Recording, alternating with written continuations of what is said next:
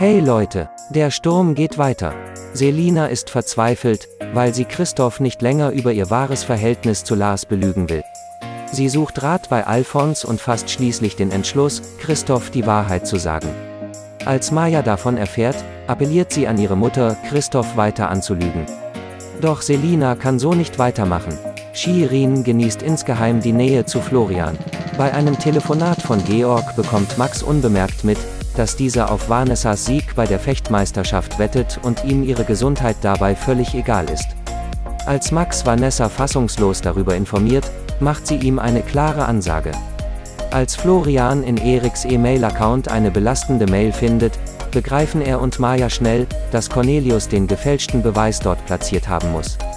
Da Cornelius sich nicht davon überzeugen lässt, dass ihn diese Aktion ins Gefängnis bringen könnte, löscht Florian die E-Mail selbst. Cornelius ist entsetzt und richtet eine Forderung an ihn. Vanessa fordert von Max, für immer aus ihrem Leben zu verschwinden. Werner grübelt über einer Schachpartie gegen sich selbst, da er eine bekannte Partie aus dem Schachlehrbuch nachspielen will. Als Cornelia vorbeischaut, zeigt sie Interesse daran. Daraufhin möchte Werner wissen, was ihrer Meinung nach der nächstbeste Zug wäre.